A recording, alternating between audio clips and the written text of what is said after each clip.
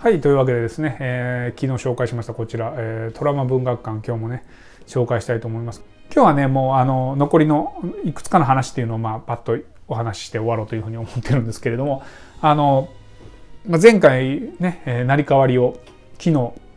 紹介しましたけれども、えー、今日紹介するまず一つ目はですね、えー、筒井康隆さんの「走る鳥敵」というお話でございます、えー、これも非常に面白い。これね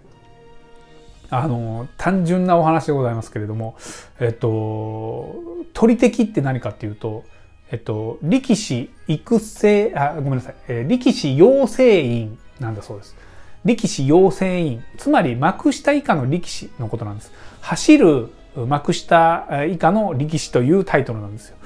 えー、なんじゃそれって思うんですけれども、まあ、あるバーでね、こう、飲んでるわけですよ。友人と、こう、学生時代の友人とね、主人公が飲んでるわけですよ。学生時代の友人と話してたら大体どんな話になるかって言ったらあいつはどうなったとか、え最近どうだってそういうの話でしょ？そういうの話をしてたらおおあいつあの松尾おったやんあいつすごいらしいでもあのなんかないろいろやりたい言ってたけども結局あのあかんくてあの親父さんがほらスーパーやってるやんか。だからあそこで勤めて今もうほんと何もしてへんのにもうその息子やいうだけでも専務になっとんね今。あだからもう何もせんけど金入ってくるからブクブク太ってあの 相撲取りみたいになっとんねブクブクの。醜い。お前は相撲取りか言うて。そんななっとんねん。ああそうなんや。でバーですから。飲みながらパッと見たらそのバーのカウンターの一番奥の方でこっちをグーッ睨んでるやつがいるんですよ。それがねどうやらね相撲取りっぽいんですよ。でああちょっとやばいなと思うんですけども、えー、ね友人はそれ以降ももうあんなもう力士言うてもあれもう幕下のあのどうしようもないような力士みたいなもんやあんなもん。みたいな。ああまあまあそうすっごい睨んでるわけですよ。うわすごい睨むやんみたいな。でここで話が終わるんじゃないんですよ。えー、ちょっとやばいぞちょっと怒ってるっぽいしもうあじゃあ帰りますって言って帰るんですよ。ね。でちょっともうどないしてんいやさっきすっごいバーのカウンターの奥であのなんか力士みたいなやつが睨んどったでってえー、そうな怒らしたかな？もうちょっともうええか逃げようぜってバーッと逃げ逃げるんですよ。でファーって逃げててファーッと後ろ見たらですねさっきのやつがこうやって追いかけてくるんですよ。うわ追いかけてきた言うてあともうずっと追いかけてくるっていう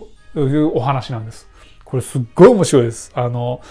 もうどんどんだからぐわー来てもう店に入っても店の中にも入ってきたりとか。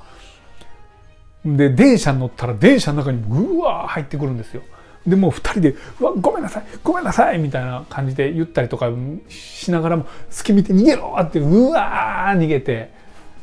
で何がこの話は面白いかっていうとそのずっと逃げてですよ。最後ですよ。ずかずかと俺に近づいてきた鳥敵が何とも言えず懐かしいあの汗の匂いをさせながら片手で俺の肩をつかみ片手で俺の頭部をわしづかみにして無造作にぐいっとねじった。この終わり方。何もせえへんという感じじゃないですか。ね。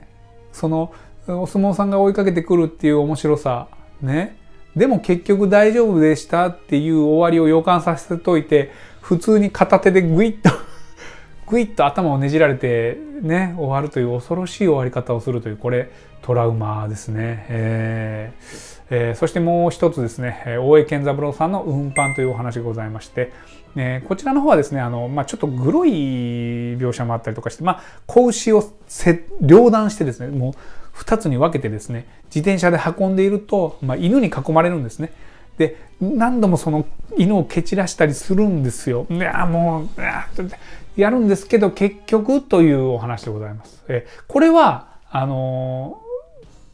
どこがトラウマかというふうに言いますとあの、まあえっと、この作者の方がおっしゃってるんですけれどもあの、えー、子供の弱さから脱し大人の衰えにはまだ間がある最も精悍な青年期肉体的にも精神的にも最も充実した時期です。そんな青年をまず何が蝕んでいくのか、それは徒労ではないでしょうか。頑張ればそれだけ報われるのであれば青年は疲れを知らないでしょうしかしどんなに頑張っても全てが虚しく報われない時けなげで陽気な肉体と精神でさえすすり泣き始めるという、えー、ところからここのトラウマを感じるということで、えー、非常にね考えさせられるようなお話でございます。あとですね、白戸三平さんの漫画、野犬というお話もございまして、これはね、えっと、犬の気持ちをずっとこう、えー、綴った漫画で人間が勝手に思ってますよ犬っていうのは飼われた方がいいとかでも犬目線で話が進むんであのね餌とかくれて食べてるのを見てああもうやっぱ家帰ってきてよかったねとかって言うんですけれどもその犬は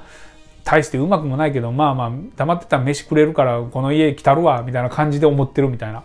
でそんな風に別に好きでもないわお前らのことって思ってる犬とああ犬かわいいねって言ってる子供っていう結構残酷な話なんですよ。で犬飼いたい子供親はあかんあかんって言う。で犬自身もお前なんかに変わるだないわって思ってんのに最後子供はその犬ねもう飼うなって言われるもんですから家出するんですよ犬と一緒に。で最後ね電車にひかれて死ぬっていうお話です。トラウマトラウマになる。えー、こんなお話がねたくさん載っておりますこの、えー、トラウマ文学館。はい、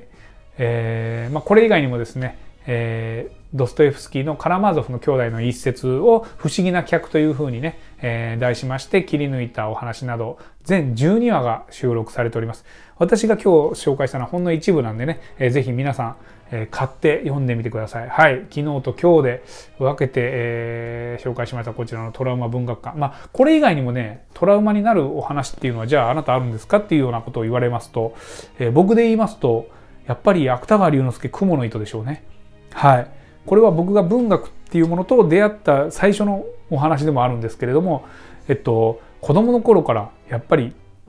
ずっと完全懲悪のね、えー、ヒーローは勝つ主人公は勝つみたいなお話ばっかりを見ていた僕が小学校4年生ぐらいの時に学校の授業道徳の授業かなんかで「雲の糸」を初めて読んだんですよ。ね。えー、お釈迦様がね蓮の池からこう地獄界をのぞ覗いてですよ。神田田を見てあいつは雲を一回助けたことがあると。あだったらね、えー、一つあいつを助けるためにじゃないですけれども雲の糸一本垂らして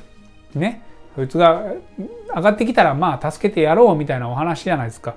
で神田がバーッと登ってるここでああ助かるっていうお話なんだと思ってこうなんか油断して読んでいた僕ね、えー、油断して読んでたら、えー、ね下からどんどん他の人たちも上がってくるそれを見て神田が「俺の雲の糸やぞお前らどけこの野郎!」って言ってそれ見てお釈迦様が「あ赤間こいつ」でブツッと切るっていうお話でしょ。もうそれは僕からしたら主人公は助かるものハッピーエンドが当たり前だと思ってた僕からしたらえーってなったんですよ。でそっから芥川ってどんな人なんだろうで都市春とかを読もうとした読もうとしたけれども、えー、なかなかちょっと読めないなこれ難しいわと思って、えー、読書習慣というのをつけようと思って小学校5年生の時に1年かけて、えー、モーリス・ルブランのねルパンシリーズを読もうというふうに決めて1年間で30巻読んだのが僕の文学との出会いですよ。でその時に怪盗紳士という名前を目にしたから僕は斎藤紳士になったんです。どうですか？どうでもいいお話。はい。えー ですけれどもね、皆さんにとってもですね、えー、トラウマになるような作品というのあると思います。えもしありましたら、ぜひコメント欄の方にね、書いていただけたら、ああ、なるほどと、僕も読んでみたくなると思いますので、ぜひ、えー、皆さんも書いてください。はい。というわけで今日は以上でございます。どうもありがとうございました。